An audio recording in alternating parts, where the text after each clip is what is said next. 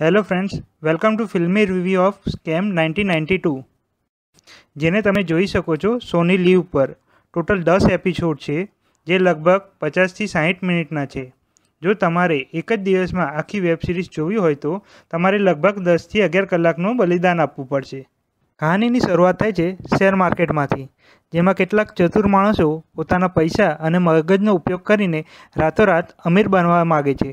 કેટલાક ખેલાડીઓ જૂના છે, જે શેર માર્કેટને પોતાની સંપત્તિ ગણી બેઠા છે. કહાનીમાં ત્યારે વળાંક આવે છે, જ્યારે તેમાં નવા બાજીગરની એન્ટ્રી થાય છે, જે હારેલી બાજીને પોતાના દમખમ અને દિમાગથી જીતવાની તેવડ રાખે છે.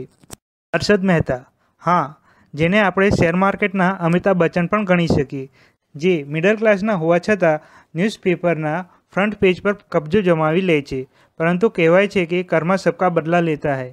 એ જ રીતે સમયનું ચક્ર ફરે છે અને ઊંચાઈ પર પહોંચેલા હર્ષદ મહેતા દેશના સૌથી મોટા સ્કેમ ફ્રોડના માસ્ટરમાઇન્ડ બની જાય છે. એ જ રીતે સમયનું ચક્ર ફરે છે અને ઊંચાઈ પર પહોંચેલા હર્ષદ મહેતા દેશના સૌથી મોટા સ્કેમ ફ્રોડના માસ્ટરમાઇન્ડ બનીને સામે આવે છે, જેમના પર પાંચ હજાર કરોડનો સ્કેમનો આરોપ લાગે છે. આખરે એક મિડલ ક્લાસ માણસ કેમ કરી શેર માર્કેટના કિંગ બની ગયા? શું શેર માર્કેટમાં પણ મેક્સ ફિક્સિંગની જેમ શોર્ટકટ રસ્તો છે? હર્ષદ મહેતાનો મગજનો એ કયો માસ્ટર પ્લાન હતો, જેના લીધે આખા દેશને પાંચ હજાર કરોડનો ચૂનો લાગી ગયો. બધા જ જવાબ મળશે સોની લીવ પર scam nineteen ninety two real લાઈફમાં બની ગયેલી ઘટનાને બધી ડિટેલ ભેગી કરી દર્શકો સામે ઉપસ્થિત કરવામાં આવી છે.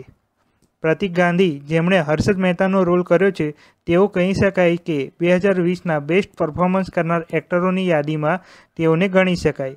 કહી શકાય કે પ્રતિક ગાંધીએ ત્રીસ વર્ષ પછી હર્ષદ મહેતાની ફરીથી જીવંત કરી નાખ્યા છે. શોના ડિરેક્ટર છે હંસલ મહેતા. જેમણે આની પહેલાં અલીગઢ, સાહિલ, સિટી લાઈવ જેવા માસ્ટરપીટ્સ બનાવી ચૂક્યા છે.